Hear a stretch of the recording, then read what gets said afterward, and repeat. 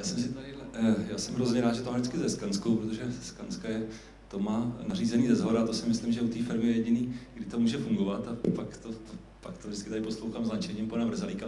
A já jsem právě protestoval, ať mi sem tady kolegyně nedává majitel a pak jsem si že to vlastně dobře, protože já vlastně už si můžu dovolit ten komfort a vlastně to jako té firmě je RD vlastně zadat, jako, že, co to má stavět a jak to má dělat. Takže eh, to, to, toho eh, hodně využívám. Tady eh, jsme chtěli říci, že vlastně teďka tady byl jako velký, v podstatě marketing nám tady na trhu funguje sama, samé peníze, peníze sleva.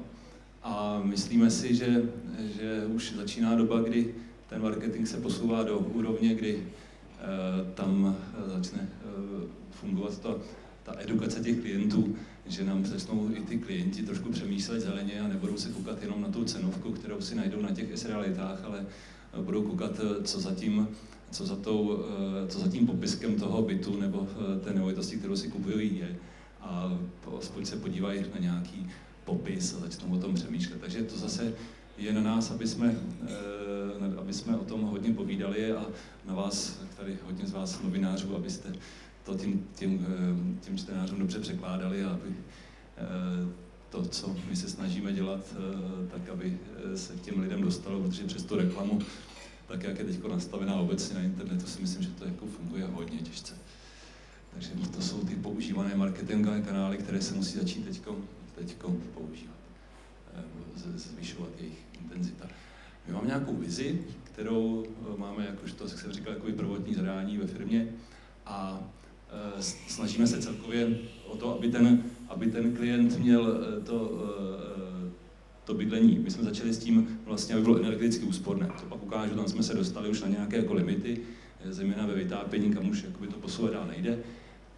Ten komplexní, komplexní přístup je environment, environment, environmentálně šetrný, což je prostě tak všeobjímající problematika, že prostě zatím to můžeme ukázat jenom jako heslo, ale pak se dostáváme prostě v, v, mnoha, v mnoha oblastech do, do těch konkrétních detailů a je to vlastně ten denodenní život, eh, denodenní život nás eh, developerů, a já bych zdůraznil stavařů, protože my, protože my se nesnažíme právě eh, jako jenom vydělávat peníze, ale zejména stavět, stavět kvalitní domy tak, aby byly v souladu co nejvíce jsme schopni v té dané době života s přírodou a nejméně do ní zasahovali a aby ty klienti byli schopni tak žít a zároveň to bydlení měli eh, kvalitní a eh, velmi komfortní, což, což naštěstí jde v ruku v ruce a dá se toho docílit, ale někdy to bývá těžké, protože samozřejmě můžeme zvolit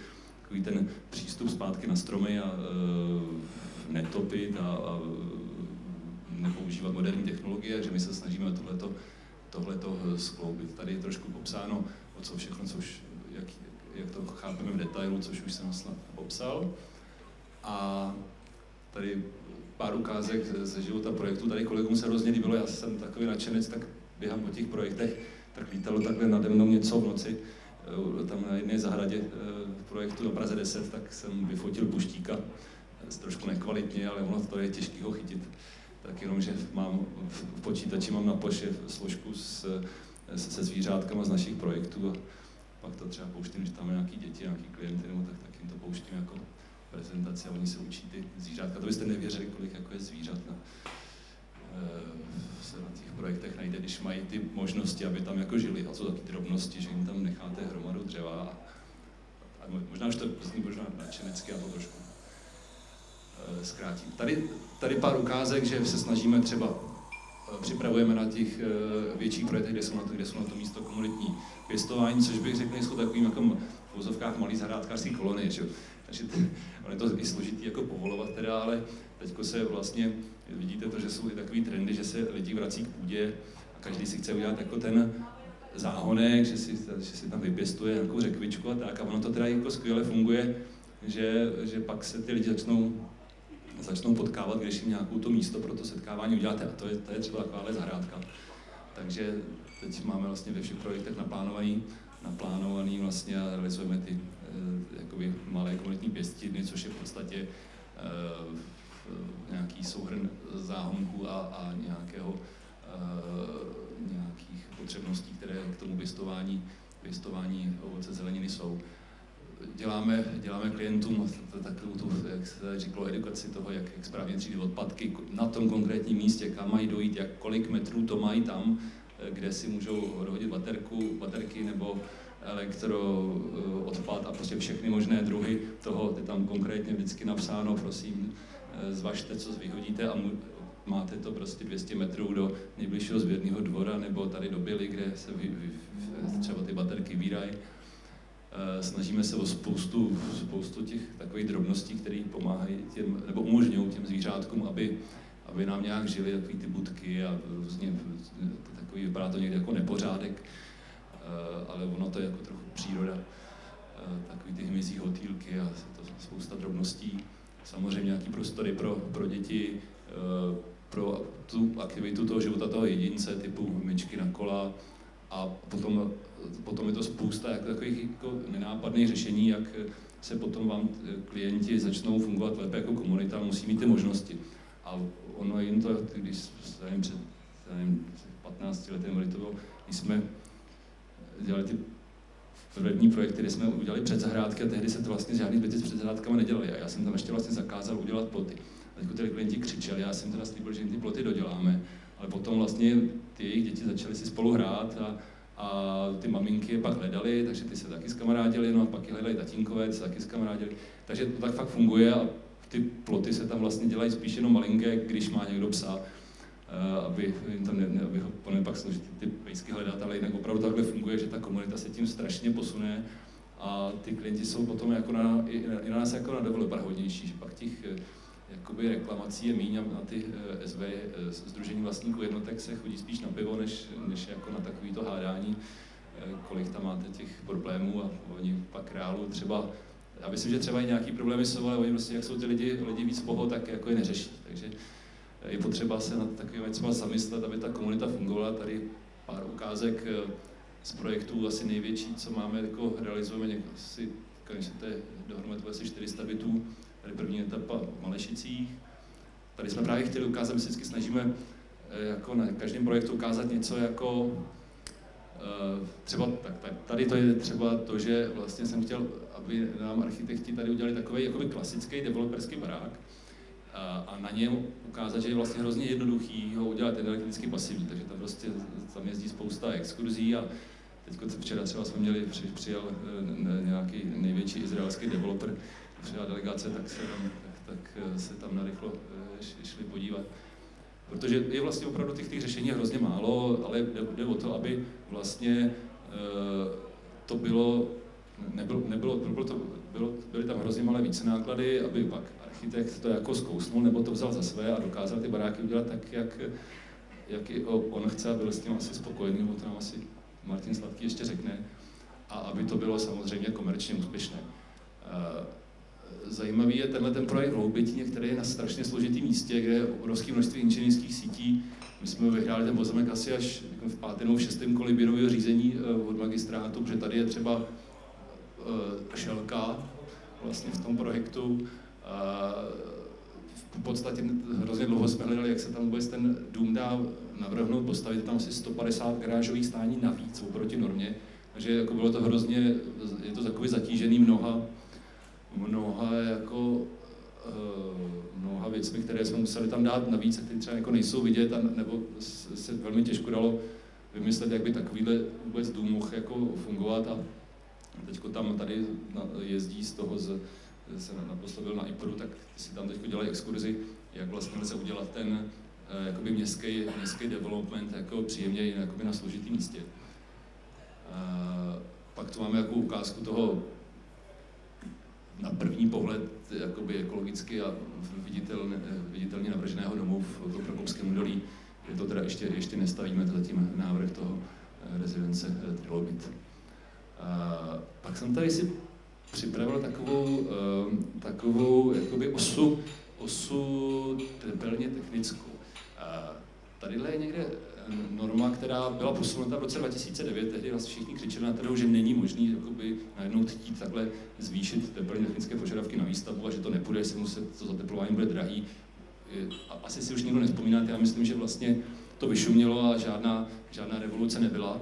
Prostě se jenom trošičku zpřísnili normy, jako už se to od 60. let v Čechách děje, takže tady máme tu normu ČSN, tady se někde pohybuje většina developmentů, z Kansku máme tady samozřejmě. Eh, eh, my jsme, my jsme vždycky dělali ty domy nízkoenergetické, takže a, ne, a úplně jsme se netlačili do pasivních, ale už od toho roku 2010 v podstatě všechny realizujeme jako pasivní. Takže se pohybujeme někde na této úrovni. No a tady ještě bych dneska to zmíním nějaké příklady toho, jak se jakoby dostat té k nule a posunout se na, na ty aktivní. Ale co je zajímavé, je, že vlastně minulý rok eh, se tu byl přijat zákon o s energií a posunutý to vlastně do, do toho, že v roce 2020 by měly být eh, ty nearly zero houses, ty téměř, domy s téměř novou spotřebu energie, to nazýváme. A to bychom asi čekali, že bude někde tady, že jo. No ale když jsem si to přepočet, tak jsem zjistil, že prostě ten návrh je prostě se pohybuje někde na úrovni toho nízkokritického domu, kde my jsme to realizovali už od začátku toho roku 2000 a je to jako přijde to hrozně směšný, jo, ty, ty, ty, ty požadavky. A tak jenom doufám, že se to jako přitvrdí, protože to podle mě jako žádný požadavky nejsou. Takže to doufám, že půjdeme někam sem a já myslím, že Pombárta určitě zakývá, že by to bylo dobrý, že, že, že, to se o to, že se o to pokusíme to odborná obec nějak posunout ty požadavky dál. Takže e, rádi bychom, aby potom ten většinový development byl nucen vlastně tím byčem, byčem se posunout tou normou, normou trošku doleva. No, tak, ten, tak jako takové občanské, občanské moje přání. Teď, jak jsem tam ukazoval, tak ono se dá dojít až jakoby k aktivním nebo nulovým domům a různě se to samozřejmě, ten název není, není nějakým způsobem ustálen. Tady bych ukázal uh, asi takové dva nejznámější příklady tady jedno uh, House uh, v Rakousku, což je opravdu krásná, krásná na místě původní horské chaty udělaná horská chata jako aktivní dům a potom tady jeden aktivní dům v Berlíně a tam je, tady je vlastně vidět, že ty prostředky, nebo to, to, to mají znatelné, ale třeba tenhle ten dům potom stojí desetinásobek toho, co, co ukážu na tom dalším slajdu. My se právě snažíme jít cestou, že ty baráky prostě nestojí víc. Že prostě ty řešení, které děláme, jsou normální, všude použitelné. Já jsem si to dal jako když si takový svůj profesní cíl ukázat, že vlastně se to dá stavit jako bez dotací a, a normálně komerčně. Takže takhle jsem, eh, já jsem to nějak jako nikdy nechtěl prezentovat, ale když jsem viděl, že to tady ještě jako, jsem nevěděl, že ty aktivní baráky žádný nejsou, tak jsem asi v roce 2009 pro banku udělal takový energeticky pasivní dům, který ještě pomocí pomocí eh, promiňte, eh, tady takového tepelného čerpadílka, který s, s firmou Materials vyvinuli, tak eh, tady čerpá teplo ze země, má tady ještě 9,5 kW pík instalovanou fotovoltaiku. A ten dům jsme vlastně napili, má teda ještě jako krep a může se tím krepem ohřívat, ale to jsme schválně si tři roky nepoužívali, abych měl data. A všechno bylo vlastně na elektriku připojený, takže vlastně ten dům funguje tak, že nebo je, je, schopen fungovat, mu funguje ještě líp, ale že e, spotřebuje 6 až 8 tisíc kWh ročně, e, úplně na všechno, jako kompletní spotřeba všech energií a tahle ta fotovoltaika, která tam zapadá, není vůbec jako nějak vidět, nějaká agresivní, pokrývá jenom jednu střechu, prostě, tak ta vyrobí, vyrobí až o 50% té energie v ročním pohledu víc. Tadyhle maminka, no, takže Eh, tady jsou nějaká čísla z toho domu v Plzni Bolevci. To tepelný čerpadlo má výkon 3 kW, takže to si představte, že je jako silnější varná konvice. takže to je opravdu hrozně málo. A nabíjí to do, do tepelného zásobníku, takže tím dělá teplo a teplou vodu. Výborný Blauder test tam vyšel a tady jsou ty čísla, co už jsem, co už jsem říkal. Uh, já bych vám ještě vlastně na tom ukázal, jak jsem si tady, ne, že bych tady, když pan Vrzalý povídal, si tady hrál s iPadem, já jsem se snažil ještě ukázat uh, vám nějaký, jakože se k tím věcem dá jít hrozně, hrozně, no a teď mi ne, nekleknu, sekundu, uh, že se to dá jako dělat opravdu s jednoduchou formou. A třeba tady na tom domě jsem dělal, jsem tam mamce udělal teda vlastními silami za víkend tam, tam je moc hezká fotka, ale jakože zelenou, zelenou střechu eh, jako a trvá to, trvá to jeden den, jo, jako, takže to jsou prostě opravdu jako velmi jednoduchý, jednoduché věci a zároveň, když jsem to jako potom na ty vlastní, vlastní chvilku viděl, jak to je jako primitivní, tak jsem se pak domluvil s Knaufem a ty mají nějaký, nějakou izolaci, která by měla fungovat vlastně na položený zelený střechy, kde dáte použít jenom takovouhle, položíte izolaci a přesto dáte takový rozchodníkový koberec. A tak jsme to použili, použili v Malešicích na tom EcoCity a ta, ty, ty, ty střížky byly hotové. První byla, první byla za půl dne a druhá byla za dvě hodiny. Jo. Takže to jsou prostě tak primitivní a jednoduché, rychlé řešení.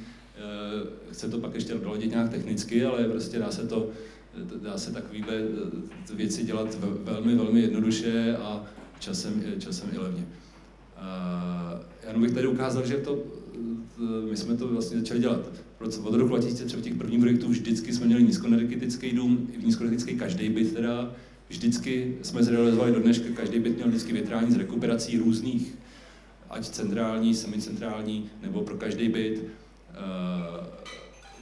furt jsem bojoval s tím, jak vyrábět okna z a my jsme v začátku museli ty věci si jako vyvinout, i jako fasádu, třeba 20 cm fasádu tehdy nešlo.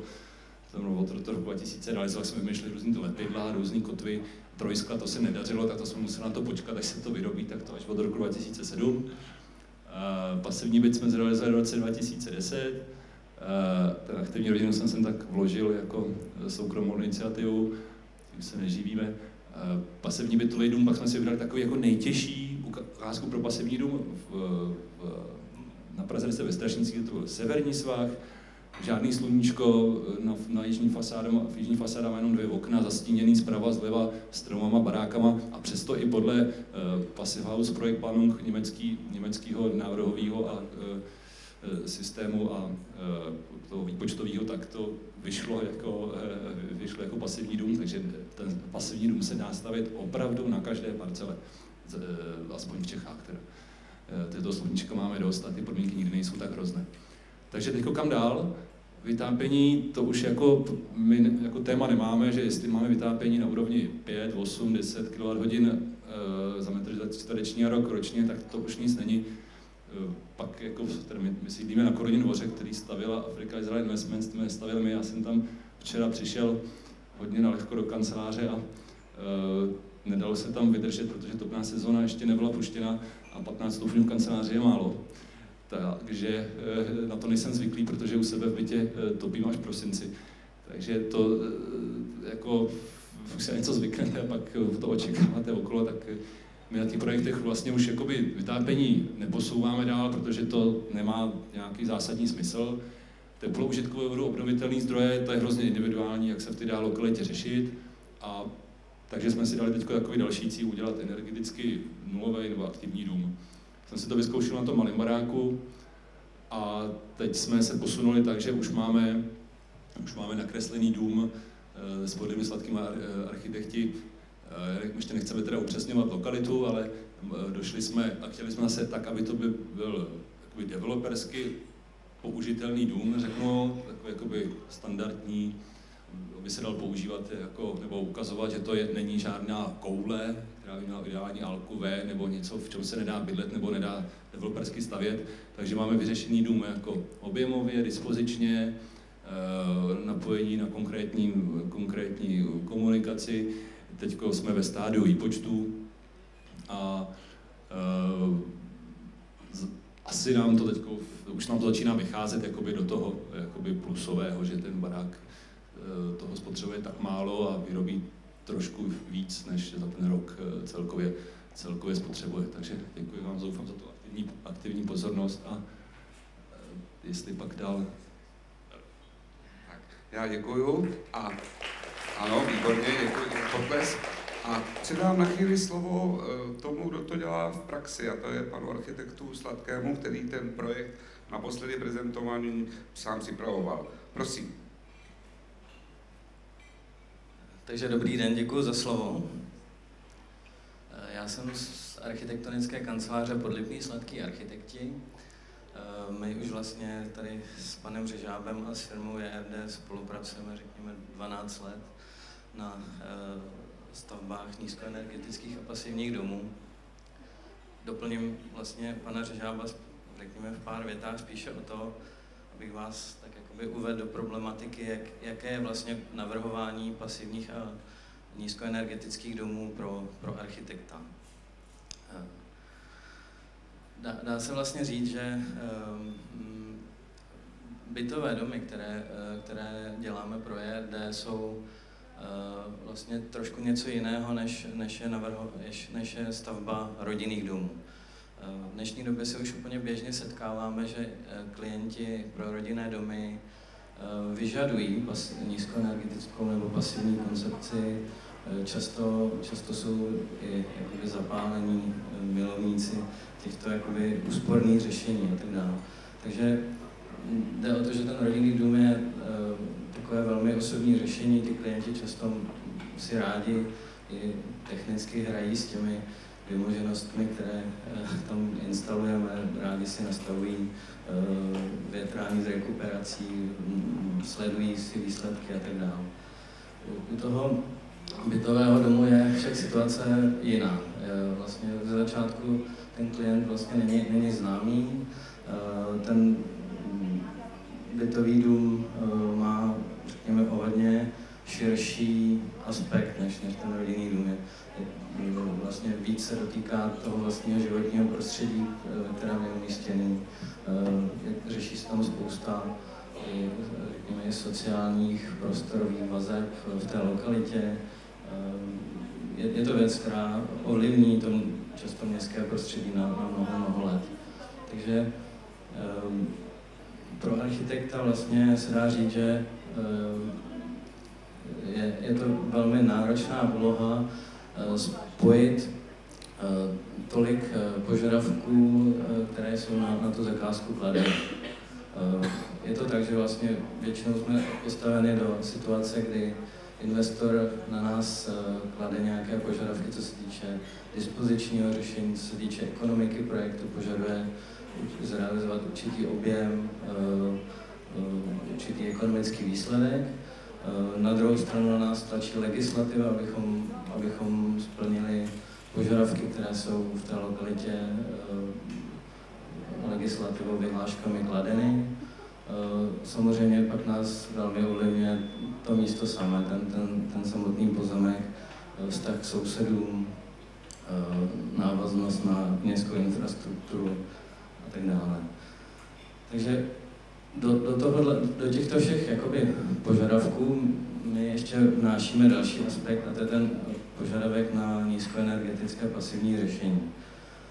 Dá se říct, že, jak jsem teď řekl, těch požadavků je tolik, že nikdy není možné to nízkoenergetické řešení klát jakoby na první místo, ale je právě, mm, je právě jakoby úlohou architekta, aby, aby eh, se pokusil nějakým způsobem harmonicky a e, rovnoměrně všechny ty požadavky vyvážit. Tady, tady jsou některé stavby, které vlastně jsme v poslední době pro ERD zrealizovali. Byla Augustus, jako City Malešice, byla Augustus e, v nízkoenergetickém standardu, jako City Malešice v pasivním standardu. E, dá se říct, že eh, pro architekta eh, eh, není, není možný v tom procesu, v tom, jak jsem teď popsal, jak je složitý, neustále, neustále jakoby vnášet třeba ještě aspekt toho, že, že v každé fázi návrhu si posoudí energetický výsledek, předpokládaný energetický výsledek toho domu.